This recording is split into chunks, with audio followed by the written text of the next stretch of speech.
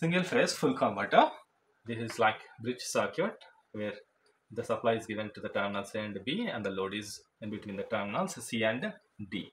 When the supply is given through the transformer primary, the secondary is going to have the voltage Vs which is given to the circuit then the terminal A is positive and the terminal B is negative. In this case, thyristor T1's anode is positive, thyristor T2 cathode is in negative. Thyristor 4 cathode is positive, thyristor 3 anode is negative. For the conduction of a thyristor, thyristor must be in forward biased. T1 is in forward biased and T2 here it is 0 and here it is negative so T2 is also in forward biased whereas T3 and T4 are in reverse biased condition initially. So we can turn on T1 and T2 since both are in forward biased. When Vs is positive in positive half cycle, we can turn on T1 and T2 by giving a firing signal or firing voltage. This is our input signal during the positive half cycle that is omega t is 0 to pi. When the Vs is negative, it is a negative half cycle that is pi to 2 pi. The terminal A is negative and the terminal B is positive. Then T1 anode is negative, T4 cathode is negative, T3 anode is positive, T2 cathode is positive. T3 and T4 are in forward bias and T1, T2 are in reverse bias. In negative half cycle, thyristor T3 and T4 can turn on by giving a firing. So,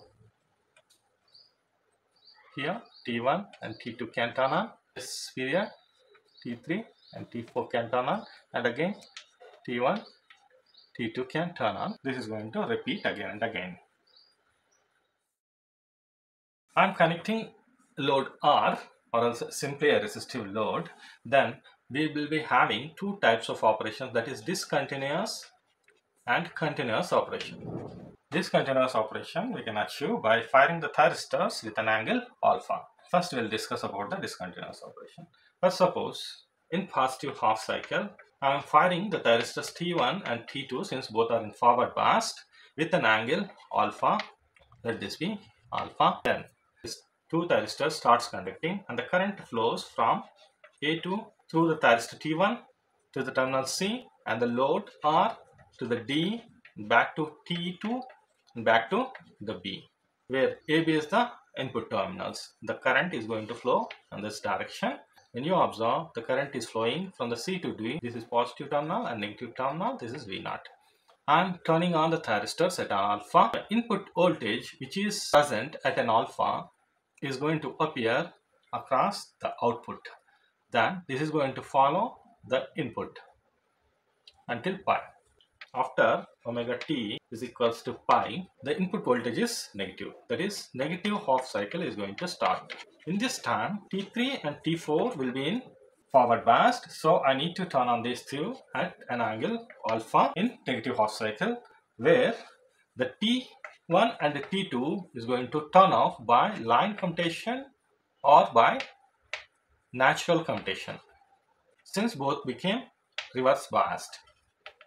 These two are forward biased. Now the current flows from B to T3, T3 to terminal C, C to R, R to D, D to T4, T4 to A. Here the negative voltage is going to flow through the resistor in the same terminals that is positive to negative V0. At pi plus alpha, the voltage present at the input is going to appear at the output even though the input voltage is negative, the current flowing through the resistor direction is not changing. I am taking this as a positive again, then the input voltage appears across the output. At omega t is equal to 2 pi, this process repeats. Meanwhile, T3, T4 goes to turn off position by line of natural commutation. This process is again going to start as it started when omega t equal to 0. This is our output voltage. And since the circuit is in break mode from 0 to alpha, it's not going to conduct and it will be present when the circuit is in operation. The output is also present when the input is present. This is our output. Since the output is discontinuous, this type of operation is known as discontinuous operation. Now, average output voltage V naught is given by VDC is equals to 1 by pi. Since what is happening between the 0 to pi is also going to happen in the 0 to 2 pi or else it is symmetrical integral from alpha to pi Vs is present that is Vm sine omega t d omega t. When I integrate this I'm going to get Vm by pi minus cos omega t between alpha to pi. When I substitute that I'm going to get Vm by pi minus cos pi minus of minus plus cos alpha.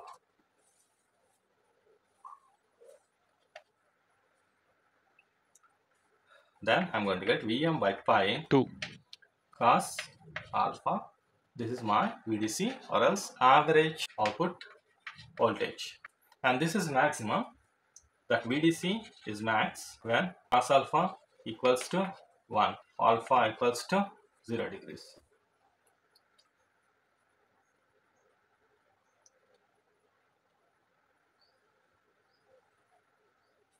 Then VDC max equals to 2 Vm by pi. Normalized output voltage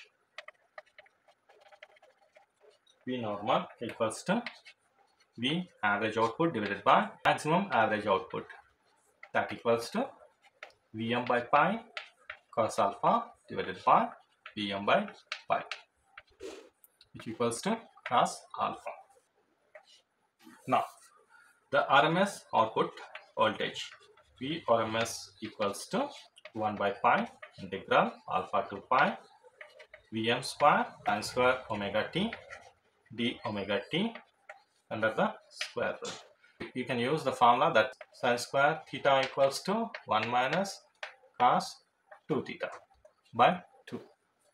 Now you can simplify this Vm square by pi integral alpha to pi 1 minus cos 2 omega t d omega t under the square root by 2 I'm taking that 2 out of the integration. M square divided by 2 pi pi minus alpha sine 2 omega t by 2 by 2 alpha is all under the square root. Then vm square by 2 pi pi minus alpha 2 outside sine 2 pi minus sine 2 alpha under the square root. Vm by root 2 of 1 by pi pi minus alpha plus sine 2 alpha by 2 under the square root. This is the RMS output voltage. Now until now we have seen the discontinuous operation of single phase full converter with R load. Now let us see how to achieve the continuous operation.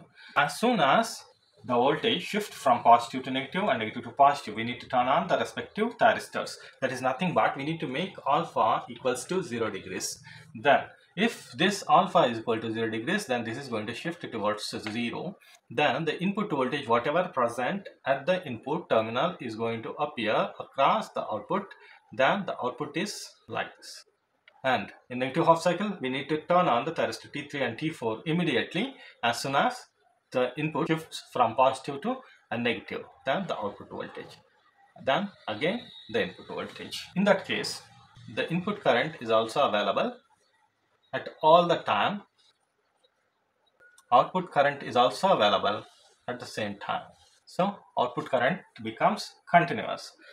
This is how we'll get the continuous operation of a single phase full wave converter with R load. Then the average output VDC for the continuous operation is given by 1 by pi integral 0 to pi Vm sine omega t d omega t. Now let us see this that is Vm by pi sine is minus cos omega t from 0 to pi. Vm by pi minus cos pi minus of minus plus cos 0 minus cos pi is equals to 1 and cos 0 equals to 1 which is 2. VDC equals to 2 Vm by pi. VDC is max at the same time. So normalized output voltage Vn is given by the same value by same value that is 2 Vm by pi divided by 2 Vm by pi which is nothing but 1. RMS output value that is V RMS is equals to 1 by pi integral 0 to pi Vm square sine square omega t d omega t under the square root which equals to m square by pi sine is 1 minus cos 2 omega t by 2 whole to the power of 1 by 2 this equals to vm square by 2 pi. This is integral 0 to pi 5 minus 0 minus cos so it is plus sine 2 omega t by 2 from 0 to pi whole to the power of 1 by 2 vm square by 2 pi of pi plus sine 2 pi by 2 minus sine 0 by 2 whole to the power of 1 by 2 sine 2 pi is 0 sine 0 is 0 this value will be 0 pi will remain. Pi pi gets cancelled then you are going to get so vm by root 2 v rms equals to vm by root 2